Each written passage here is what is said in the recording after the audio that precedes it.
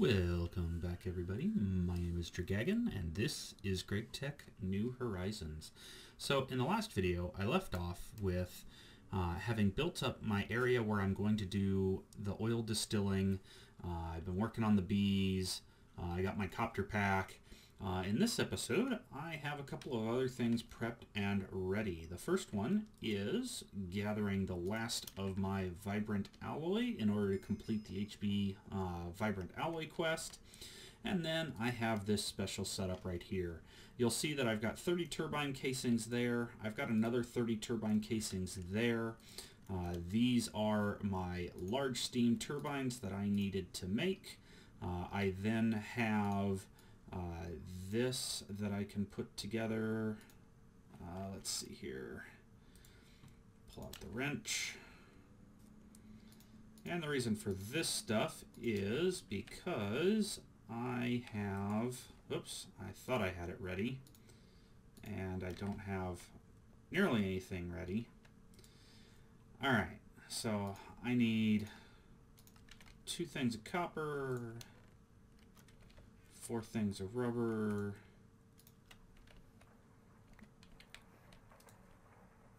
Need to get those wire milled down, and then I need four of these guys, which are going to go into there.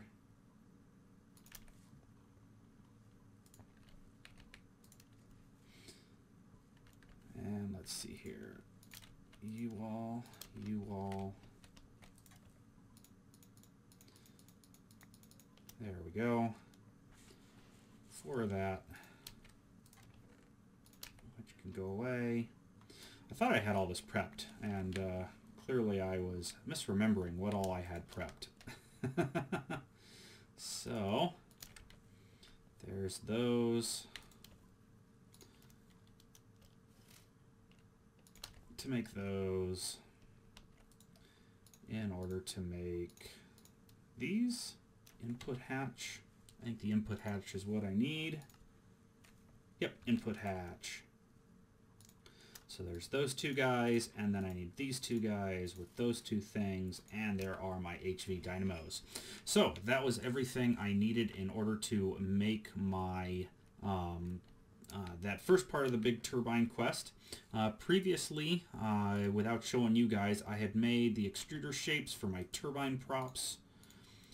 And then I went ahead and made these things. Oh. I don't think I have nearly enough energetic alloy. It wants six each for these guys. And then I need four each for these. So I'm going to have to go back and make quite a bit more energetic alloy. These are the small turbines I'm looking at using with the optimal steam flow there of uh, 12,000 liters per second.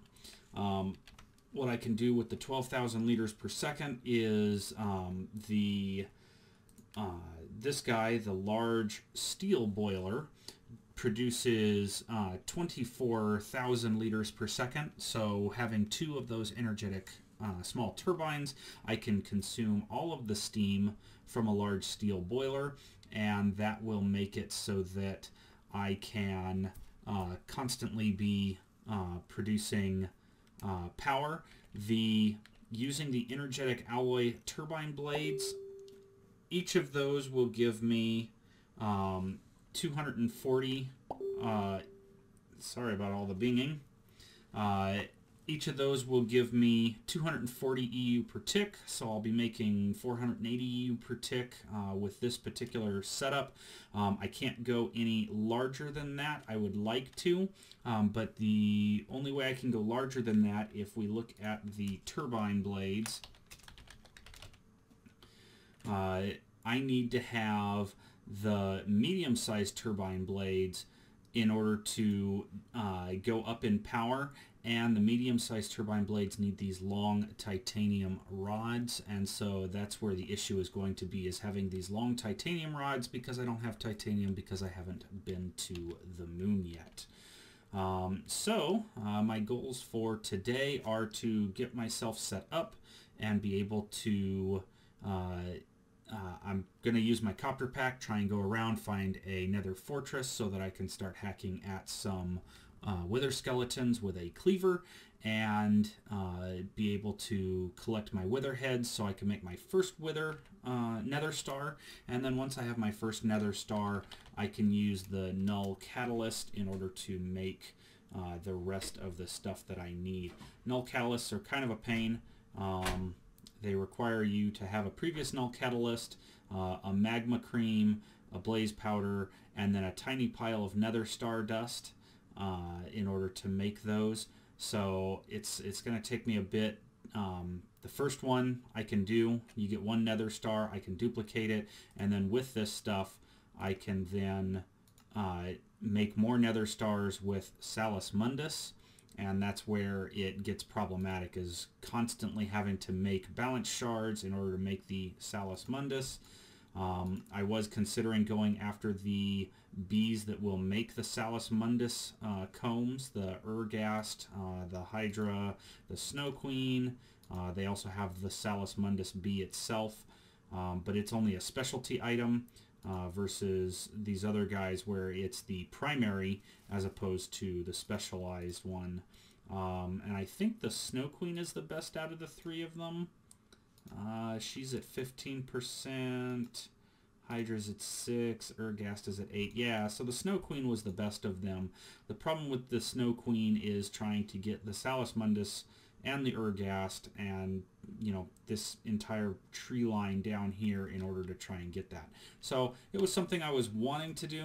Uh, it may happen eventually, but uh, probably not in the near future. So it'll be me going into the Twilight Forest, gathering up a whole mess of shards, and constantly making balance shards so that I can uh, craft enough nether stars. And again, that is all so that I can make this dire crafting table um, the dire crafting table being uh, needing this crystal matrix and the crystal matrix needing the um, ingots and the ingots of course needing two nether stars and four diamond lattice each.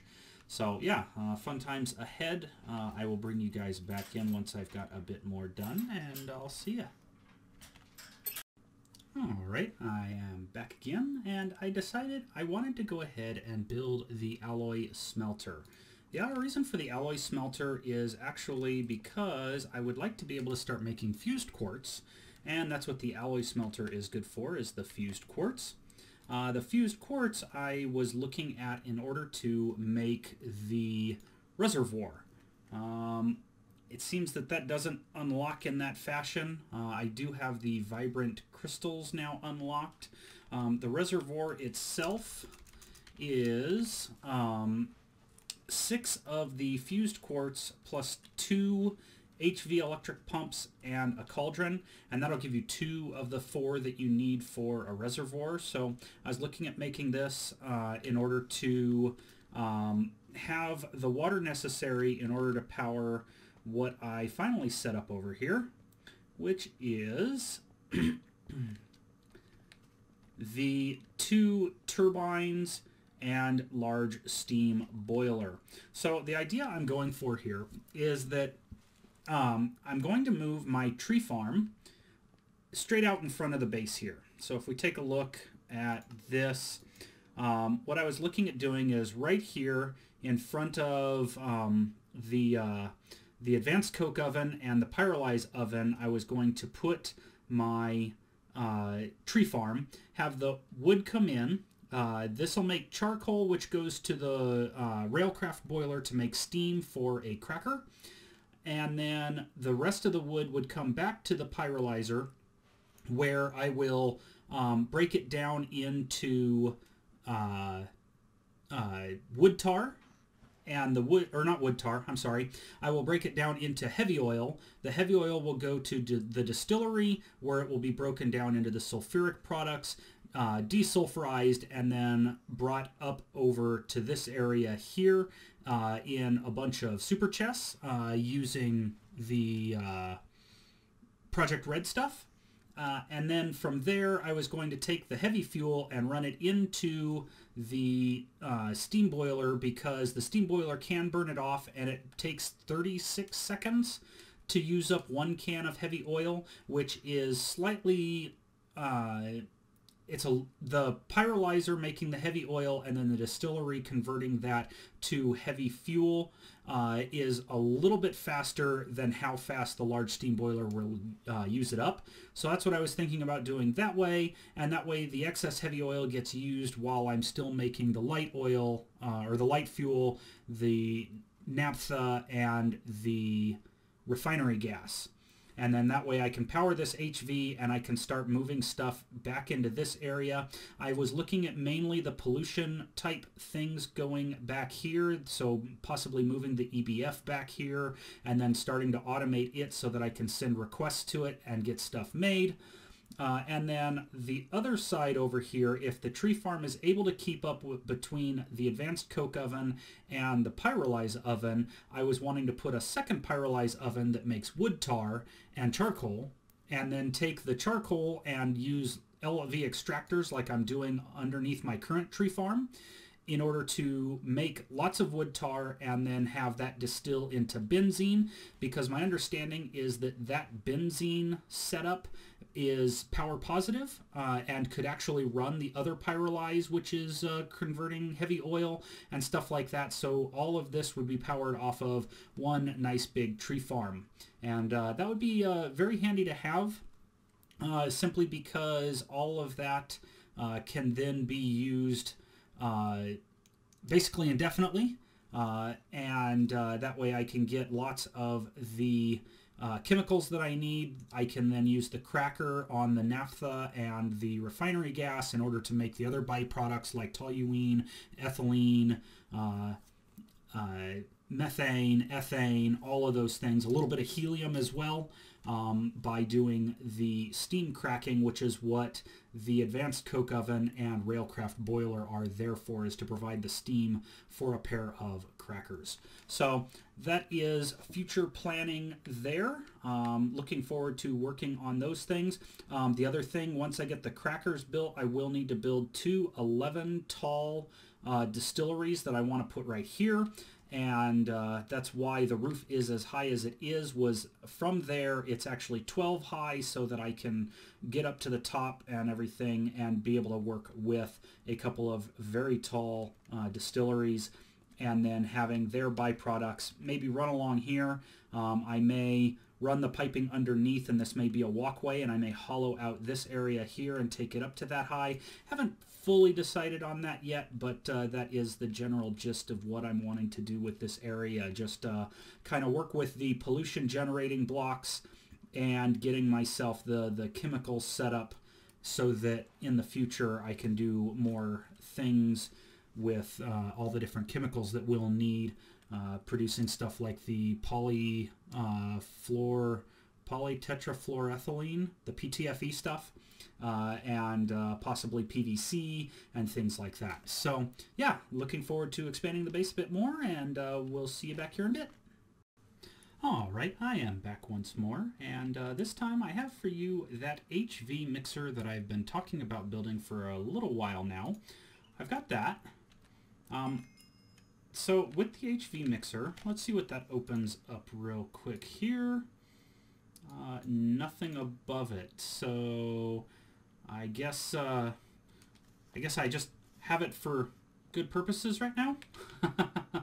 uh, in any case, I made two more Kanthal coils. Um, I had the 16 from the EBF, and I used nine of them on this first pyrolyze oven, which left seven over. And so I went ahead and made another two, and I've now put together my second um, pyrolyze oven here. This one will be making wood tar and charcoal uh, that will come out along here and make um, to some LV extractors, which will turn that into wood tar as well. And then I'll put a distillery maybe right around here where this guy is uh, that will distill the wood tar into benzene. And that will give me uh, a sufficient uh, product for uh, powering these guys. Um, the alternative that I was considering doing, which I can't do yet, is because the benzene will be here, I was thinking about using this small amount of space right here in order to pair up some gas turbines. And the gas turbines can then generate uh, EV power, I think, more easily. Um, there's a spreadsheet that I've got linked in my uh, set of uh, uh documents that has uh, the calculations for what turbine paired with the steam, gas, and uh, plasma turbines, uh, the, the large turbine multi-structures, uh, what those small, normal, large, and huge turbines are capable of producing. And so that can then go over into this area and provide me with some additional power, uh, almost centralizing the power here between that guy over there and right here and then I can use that to run it further into the base. So that's pretty much what I've been working on. I'm trying to get a setup that I'm comfortable with that will generate enough power to run all this stuff without um, clogging up. Uh, the alternative will be the fact that um, I, uh, ooh, that's not a good sign. Good thing I came over here. Um, the alternative will be a, uh, uh, a setup that hopefully it'll fill up super tanks, but it won't like completely stop producing anything. Uh, that's the uh, the goal anyway. I'm not sure how that will work out for me, um, but uh, basically I'm trying to make it so that I generate lots of materials and it doesn't cause other things to block if I run low on one thing because it's stopped up on something else. Namely, I was trying to use the heavy fuel because if I do heavy oil and then desulfurize the heavy fuel, and if I don't burn off most of the heavy fuel, it'll stop up uh, other things from working. Yes, the Pyrolyze oven will continue even when it's full. Uh, the distillery, I believe, also will continue and it'll just void its output. Um, but I didn't want other things to stop based on that. So I think I've got a pretty good setup going here. Uh, a little bit more work to do and then I can pull out the tree farm and move it out in front and then I can start getting these guys hooked up and see how they do in terms of how much material they need to use versus how much uh, wood that one will produce. My understanding was that um, a full-size farm will power uh, several of these guys with the cupronickel coils so hopefully that'll be half as many with the Kanthal coils and uh, they'll do reasonably well uh, and not compete too much with the advanced coke oven. So that's next up on the list and uh, we'll see you guys back in a bit. And I'm back once again and uh, this time I have the Advanced Assembling Machine 2. Now, the whole reason I have to build this thing is I was looking at upgrading some capacitors in order to get a max size for, um, sorry, Ender IO farming station uh, for the wood that I'm going to be chopping down. Now, the basic capacitors are pretty easy to make. When you go to uh, upgrade them to the double layer capacitors, it only takes an MV assembling machine along with some molten energetic alloy. Not a big deal. It's when you try and move up from that to the octadics, you need the HV assembling machine. As I hadn't completed it yet, I went ahead and built it. It did take quite a bit of resources, a little bit of time, not too bad. I had everything basically on hand. I had to grind up a little bit more uh, minerals and clean them and get them ready. But there is the advanced assembling machine, completing that quest as well in the HV line. Um, I was a little conflicted. Uh, sometimes it's nice and sometimes it's frustrating when I want to make something new and it requires a new machine. Depending on the machine and what resources I have on hand, this one was nice because I had basically everything I needed and it's all up and running at this point. Uh, in my inventory, I went ahead and made some more energetic alloy ingots. I grabbed some of the vibrant alloy ingots that I had made previously, and I am going to use this guy right here, the advanced fluid extractor, and I'm going to go ahead and get those pieces put together uh, so that I can assemble it. Um, I can do the one in here, so I probably will. Four of those, two of those, and then wait for this thing to be done. There we go. That should do nicely. And that should get me where I need to be with the um, double layer capacitors. And while I'm doing that, let's go ahead and get those guys melting down as well. There we go, two of those. And there's the six of those. I'm not sure what kind of power this is going to take. Hopefully it doesn't take too much power. Two of those. Whoops, not there. Two of those, and oh, I put the other, I put the four glowstone that I need right over here. There we are.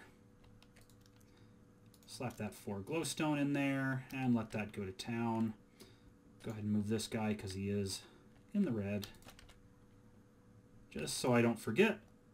Oh, not too bad. It barely used over a hundred thousand EU, so that wasn't hardly anything at all. But that is my octadic capacitor. Uh, the octadic capacitor I am going to use inside um, this guy up here. Not right now, of course. I got to get stuff moved around. Oops. There we go. So I can slap him in there and get this uh, greatly enlarged. Um, it'll it'll make a. Uh, I think it's an it's not an 11 by 11. It's an even larger field, but a max size farm with that thing using this uh, octadic capacitor should provide me with enough room Let's just come up here real quick. There we go. Should provide me with enough room with this guy here in order to make the uh, uh, a very nice large farm in order to power all of this stuff right over there. So yeah, I'll be clearing out this area here soon, um, bringing some uh, power and some cables. I'm probably going to be using my uh, item conduit and energy conduits where I can uh, simply because trying to get power and stuff over to them can be problematic, um, especially with as big as the field can be. Um, so yeah, a little bit more ahead of me uh, for today. Um, and uh, then I will uh, see you guys back here once I have uh, stuff rearranged. Alright guys, back for one last update. You can see I've started filling in the floor of my my working area down here. I have my Pyrolyze oven working. Uh, you'll see the couple of weird textures there because if we drop down below, I have moved my medium distillery up here, moved four of the basic fluid extractors down here along with all the piping. Sorry for all the extra noise. Moved the advanced gas turbine that I also use to power the advanced distillery. I have another advanced gas turbine that runs this Pyrolyze oven a turbo gas turbine which runs this pyrolyze oven which isn't running right now because I'm kind of waiting for the tubes to fill with the benzene and then another one right here that runs the distillery. Uh, so as soon as my pipes all fill up with benzene I can start, I'll, I'll probably kick this guy off. Um, I'll need to run the piping for him first, but essentially this pipe here is going to run over and into um, shoot, I probably need to put an input on here. Um, so I'm going to need to uh, make a spot for an input, probably this guy right here, uh, run the heavy oil over to it so that it can process it, and then I can start thinking about running the distilleries down here uh, in order to uh, desulfurize my various gases, well, my various fuels, uh, and then start working with those. I haven't turned this guy on yet. I basically just have him set up. Um, what I've done is I used the Ender IO conduits in a round robin mode so that it will evenly distribute wood between all three of these guys. Just in case I'm running low for whatever reason, it'll distribute automatically between all three of them. Um, and then this guy is going to make charcoal. Um, this little setup right here, I'm going to stick two uh, steam compressors. Uh, the uh, um, whatever the upgraded ones are of the steam compressors here, and then have them output and have it go into here. That's why you'll see there's red here and green here. The idea is that I'm going to extract the charcoal out.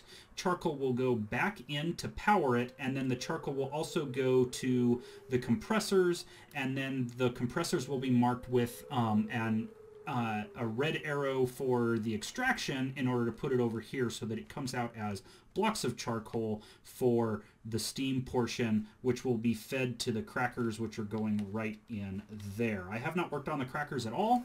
Uh, that's uh, not a priority for me right now. The big thing was getting this benzene set up. Um, I did a little calculation uh, with how fast it can produce benzene and uh, as long as my calculations hold out, I can power the tree farm, this uh, pyrolyze oven, that pyrolyze oven, and the distillery all with this one small setup. Uh, powering the cracker and the other two distilleries is another matter. Um, and I have to figure out how I'm going to do that. Likely what would have to happen is this pyrolyze oven would need to be upgraded from the Kanthal coils to the nichrome coils uh, in order to speed up instead of the uh, uh, 32 seconds it takes per run here it would drop it down by another 50% uh, and uh, you know hopefully that would be good enough to get enough benzene but that'll also mean that I'll need to add on a number of uh, the extractors down below to keep up with the amount of charcoal that it produces. Uh, but that shouldn't be too much of an issue. Um, the last thing that I want to do is here I do want to go ahead and put in some benzene gas turbines once I get to the moon.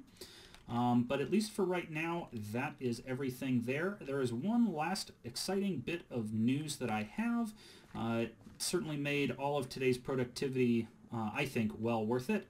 I have over here in my possession my diligent bees. I finally got a. Um, I finally took a cultivated diligent uh, princess and a cultivated diligent queen, I mean drone, used just the regular bee house, and because it had the diligence, I ended up getting lucky, and this is the leftover guy. I don't know what he is. I really don't care. All I care about is that when it combined the pairs, it said, oh, diligent queen, or diligent princess, diligent drone, uh, completely pure and so I stuffed them in here to get started on those. So that makes now my Majestics, my Unwearies, uh, over here the Diligent, and then in here I have my Noble, my Common, my Tropical, Cultivated, Meadows, and Forest. And each of these guys all right now, the this one's ignoble, and that's because the Pristine is in here uh, uh, in order to get the uh, combs that it produces. Uh, it doesn't have any right now, um, but those are to make that uh, apiarist outfit, uh, hoping to have that eventually. Uh, it is a very slow process using the apiaries because you get reduced production from, say, the bee house without using frames. And of course, that's why is because I should be using frames in that, and I'm not. So I may do that a little bit later. Um, just to give you an update on uh, my Thaumonomicon, uh, I have gone and done a bit more research, basically trying to avoid anything that has forbidden knowledge because I'm tired of warp already. And until I get to um, being able to make the pure tier, I really don't want to deal with any kind of forbidden knowledge type stuff. So that's all well and good. Uh, so, but I unlocked several of those. I went into Witchery and knocked out the altar and the kettle. Um, I was in here and I took care of the Eminence Stone and the Magical Wood. I haven't done the Angel Block yet. Uh, and then I went into Apimancy, took care of the Restraint Frame, the Healing Frame, the Proven Frame, uh, the tele, um, temporal, me metabolic, resilient, gentle, and oblivion frames. And then I also got the enchanted earth research done. So, you know, quite a bit of research going on there, um, trying to get things uh, taken care of as best I can as I have time. Uh, and, uh, you know, basically tackling multiple projects at once. Um, I did make the Yeta wrench uh, so that I could work with the conduits that I had. Um, I don't think I've completed any other quests that you guys haven't already seen. Um, so yeah, uh, next thing up is to um, I'm probably going to take the time and go into the nether and at least get my first three uh, wither skeleton skulls so that I can start tackling the wither. And in order to do that, I probably will go and do this quest over here. I'm going to go ahead and make the 32 reinforced obsidian in order to go to the wither killing chamber um, and uh, just knock those out. I should already be able to take care of this. I just need to find a bit more bone meal. I have plenty of fertilizer, and then I already have two sprinklers, and I'll end up picking those up when I rebuild my farm. So yeah, uh, everything is coming along nicely today. Uh, it did take all day to get here, but it was a nice reward just getting those diligent bees done as I was uh, running through this setup. So yeah, I'm going to go ahead and end this video here, and I will catch you all in the next video. Till then.